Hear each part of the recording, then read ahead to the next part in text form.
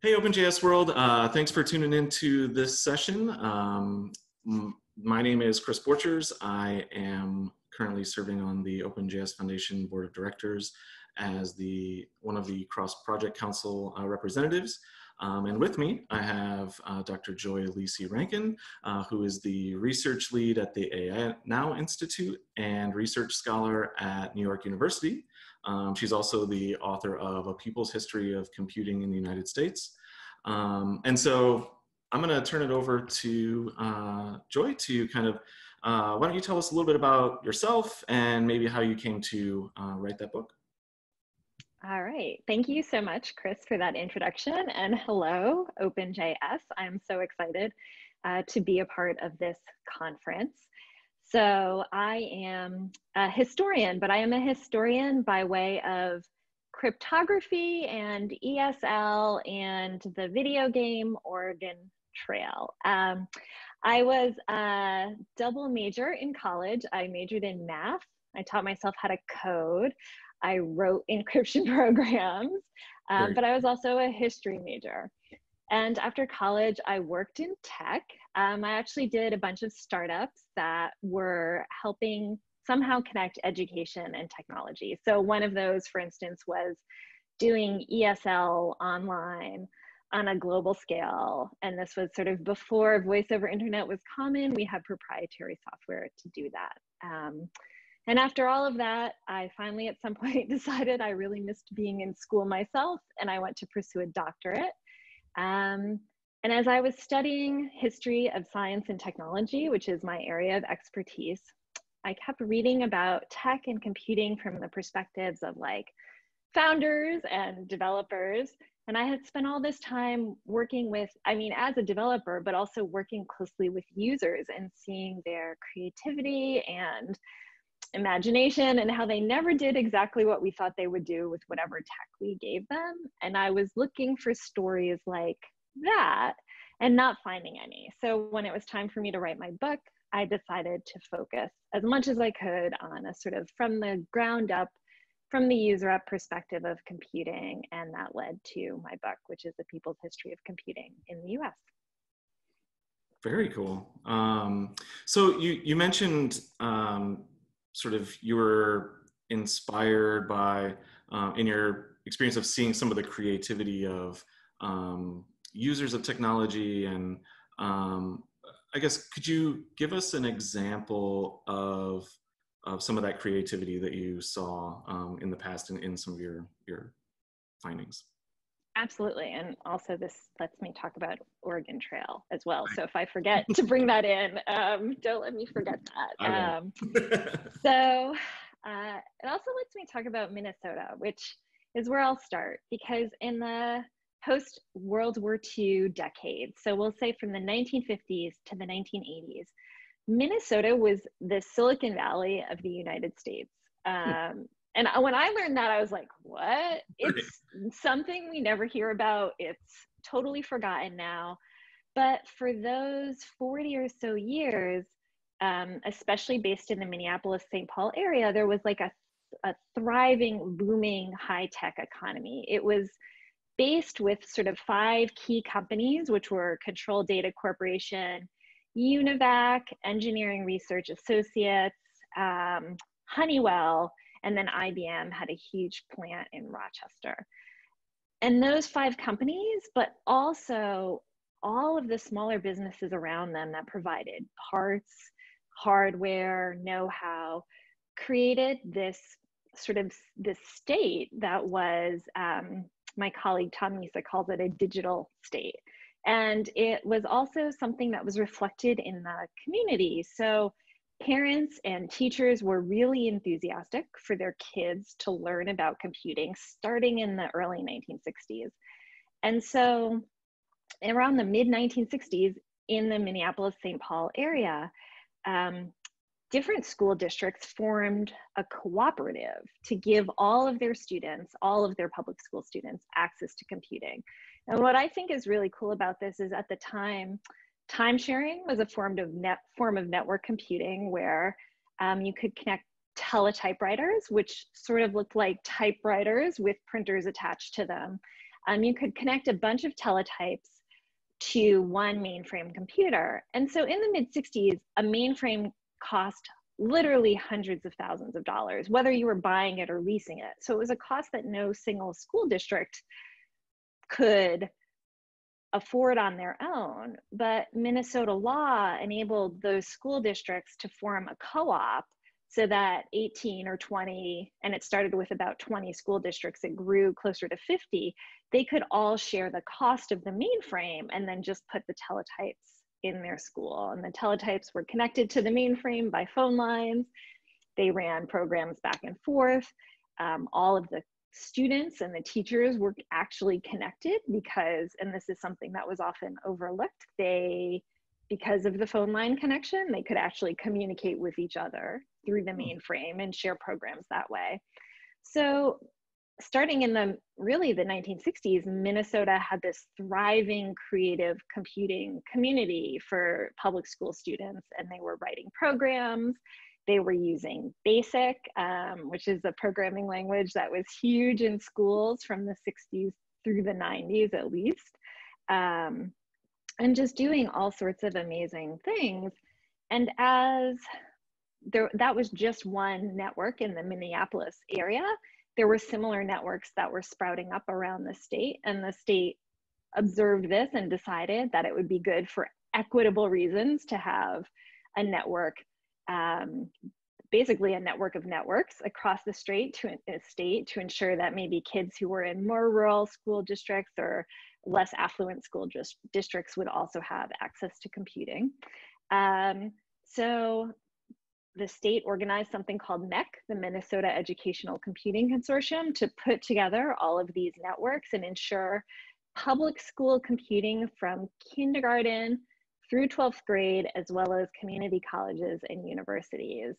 And that was in place by 1975. And within a year of its launch, something like 85% of students public school students in Minnesota were regularly computing.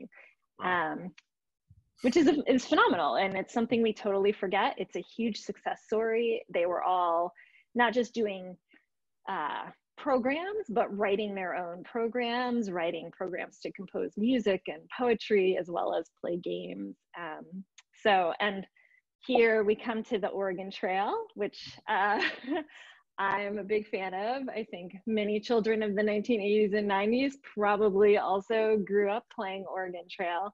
Um, and so, doing the research for my book, I was so thrilled um, and surprised to learn that it had started, it had originated in the Minneapolis St. Paul schools in 1971 as a game written on a teletype by some student teachers in American history who wanted to teach their kids how to, how learning about um, the Lewis and Clark expedition. And so they programmed uh, Oregon Trail. And when it, MECC formed, that software became part of MECC software. It became popular across the state. And then as Apple Computer came on the scene way back in the 1970s into early 80s, one of its biggest customers was uh, school districts around the United States. And all of these schools were looking for software for their apples. And MECC, because it had this huge software repository from like 15 years of Minnesota computing, had all of these games and programs like Oregon Trail that they could um, they actually did like a subscription service for public schools around the country. And voila, there we go. Very cool.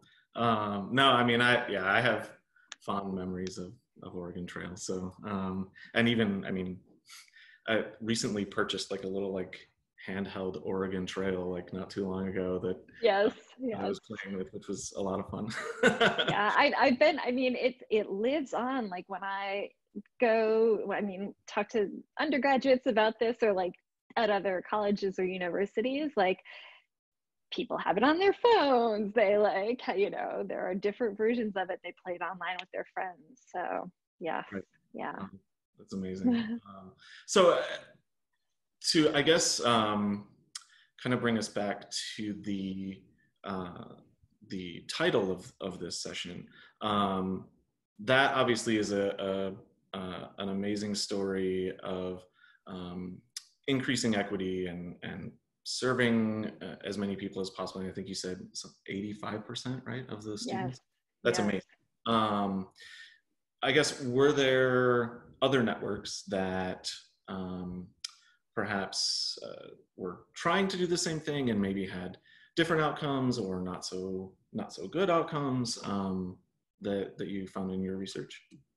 I did, I did, um, and this surprised me as well. So um, I uh, did my undergraduate at Dartmouth College, my BA, and Dartmouth was actually the home of one of these 1960s and 1970s networks, um, which I had known a bit about before I started researching the book, but not as much as I know now. Um, but so Dartmouth in the early 60s was um, men only. It's now co ed, but then it was men only, and it was almost exclusively white. It was very affluent um, and the two math professors, one of whom later became college president, uh, John Kemeny, and his colleague Tom Kurtz, saw that there was uh, interest in their students in computing, and they just thought it would be good um, citizen training, actually. They thought that computing would be so essential to life in the 21st century um, that all of their students should learn how to do it. So they uh, fundraised and got grants and petitioned the Board of Trustees to build a network on campus initially. And it was a huge hit, um, perhaps not surprisingly to us now, but like the network was launched in 1964. And as a side note, it was programmed entirely by undergraduates. It was like a phenomenal coding um, thing to learn about.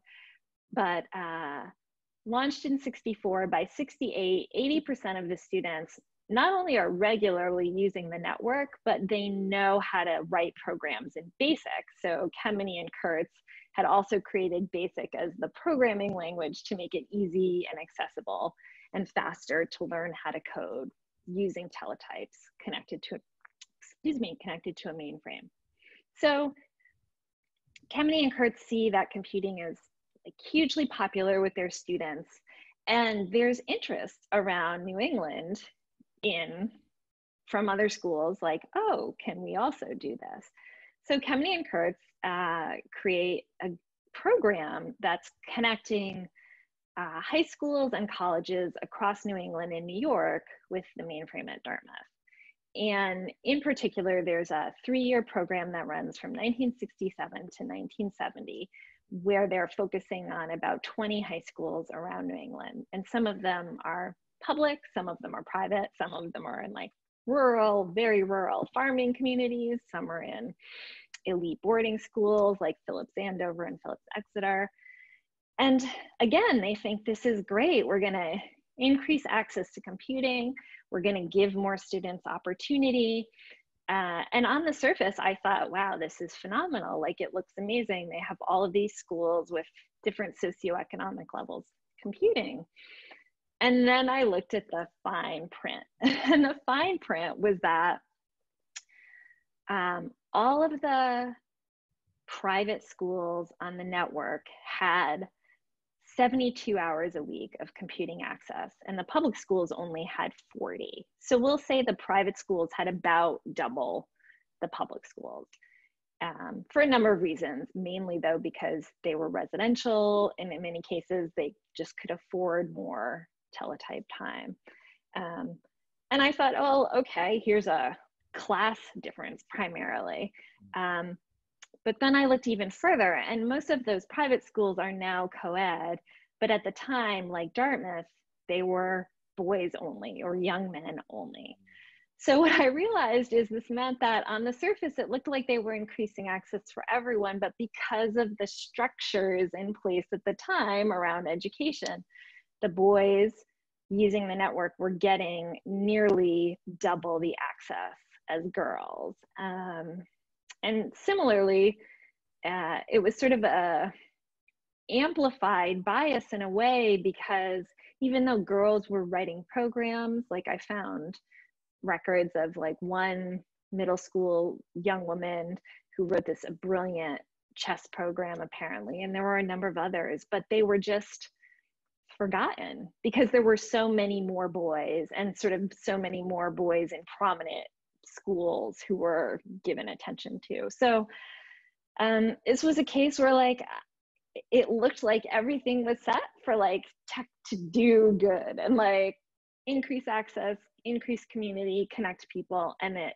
ultimately longer term had the opposite effect. Right right. So um i mean that's that's uh, definitely unfortunate i mean it it it seems like like inadvertently boys were being given more time.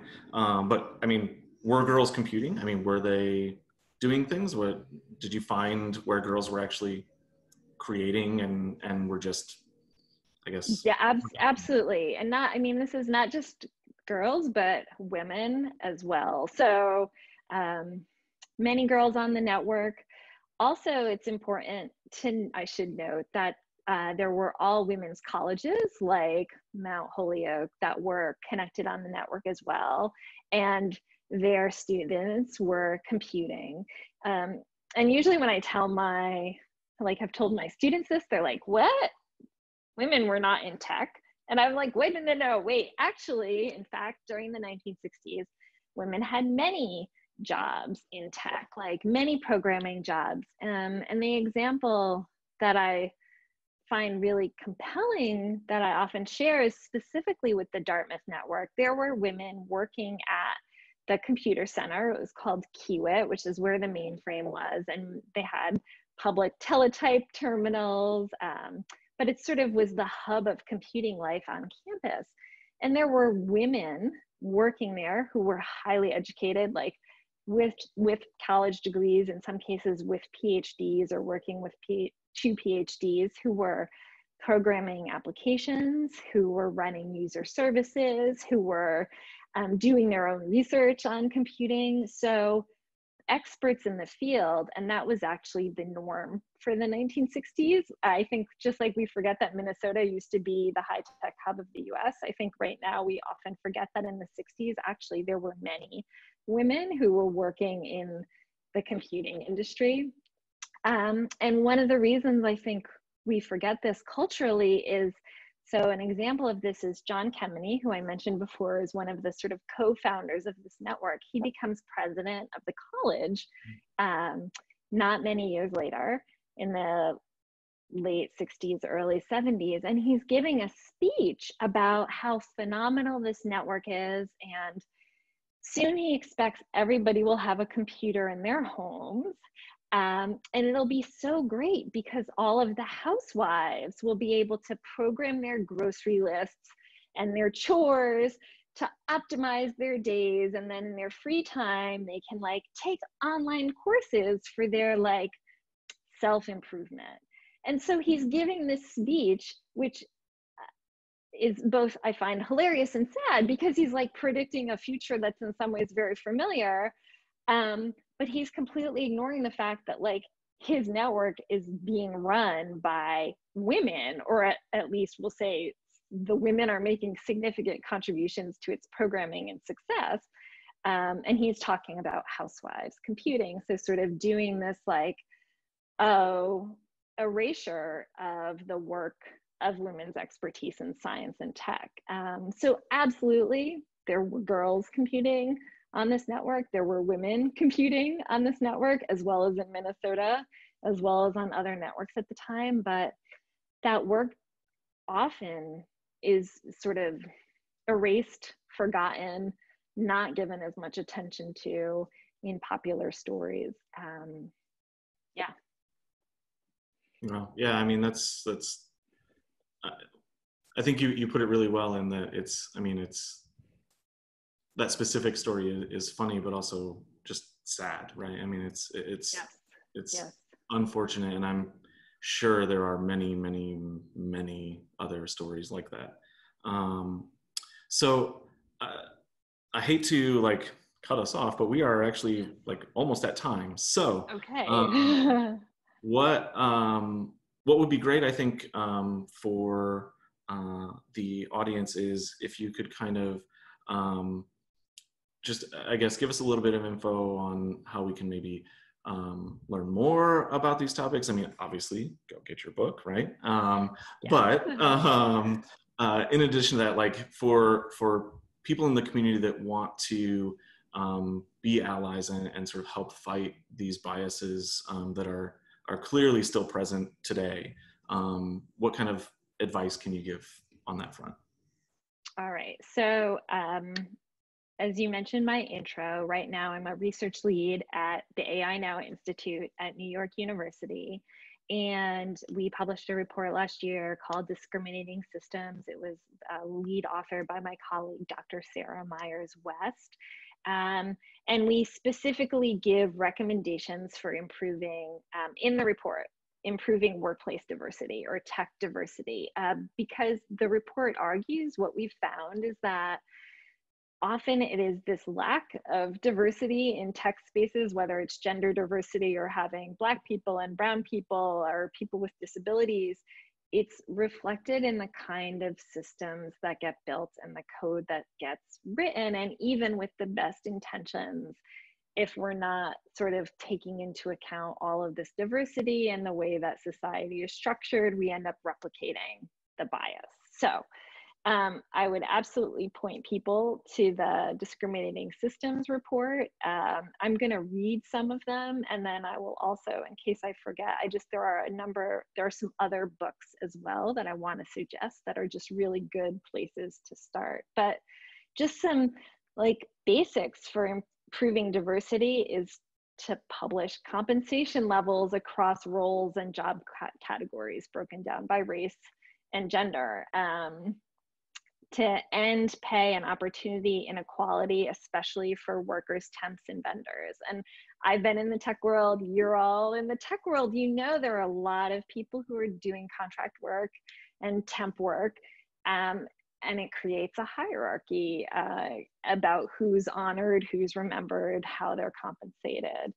Um, increase the number of people of color, women, and other underrepresented groups, um, especially at senior leadership levels. And we know, like, right, all the research tells us it's not just good for the sort of practice of tech, it's actually good for the economics of tech as well. There's actually, like, when you have more diversity, you actually end up with more robust um, economics as well.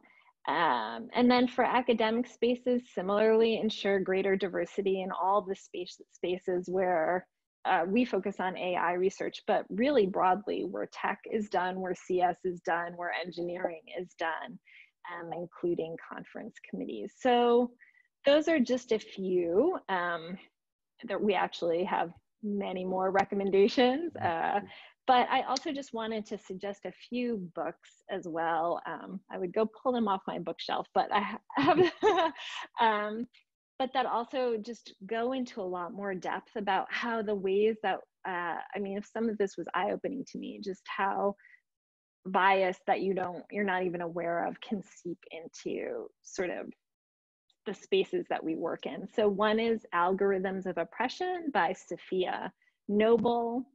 Um, one is New Jim Code by Ruha Benjamin, and then Black Software by Charlton McIlwain, and Programmed Inequality by Mar Hicks. So those are very like super well written, um, focused on the intersection of diversity and tech, or we could say racism and sexism and tech as well. Um, and just, you know, learn more um, try to be aware of you know wherever you have power try to think about how it can be used to empower others. So yeah. Awesome. Well thank you so much. I mean i'm like i'm honored to have been able to um, have this conversation with you. Um, i'm trying to learn every day as well. So um, i really appreciate you taking the time um, to speak with us. And yeah, um, everyone should, like I said, go go get Dr. Rankin's book and and the other books that she mentioned, um, and and just learn. Be open to learning. Listen. Um, and yeah, we really appreciate you taking the time. Thanks so much, Kris. I uh, it was a pleasure. Thanks.